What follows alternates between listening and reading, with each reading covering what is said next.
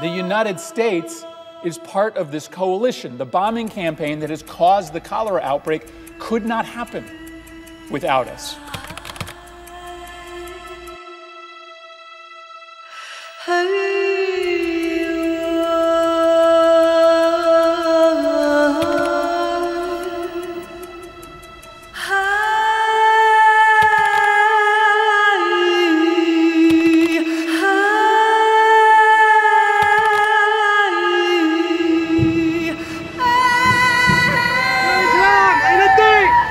يا مسلمين يا ناس يا ناس أين الشعب اليمني؟ الجبهات! الجبهات! الجبهات!